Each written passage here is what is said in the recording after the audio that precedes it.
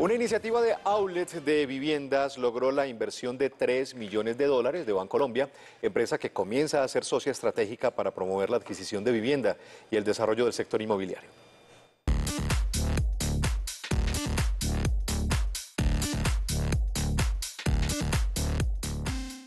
Los recursos se invertirán en acciones para fortalecer el desarrollo tecnológico y empoderar a las familias que desean tener vivienda propia. Home Capital salió a hacer una ronda semilla equivalente a 5 millones de dólares, de los cuales 3 millones de dólares son los que acaba de comprar Bancolombia.